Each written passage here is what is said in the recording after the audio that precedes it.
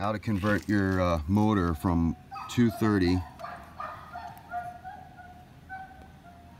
to 115 just grab that nut there and lightly turn it until you reach where you see the 115 mark and uh, now she's on 115 and we can uh, plug her into a regular outlet. A 120 volt timer and we're going to rewire this pump.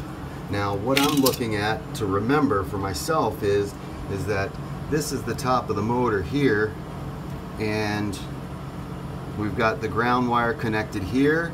Next comes the black wire and the white wire is right next to the switch from 110 or 115 to 230 so I'm going to remember that that white wire goes right there next to that switch. Yeah. and now I know I have my pump wired correctly when I put on the new one.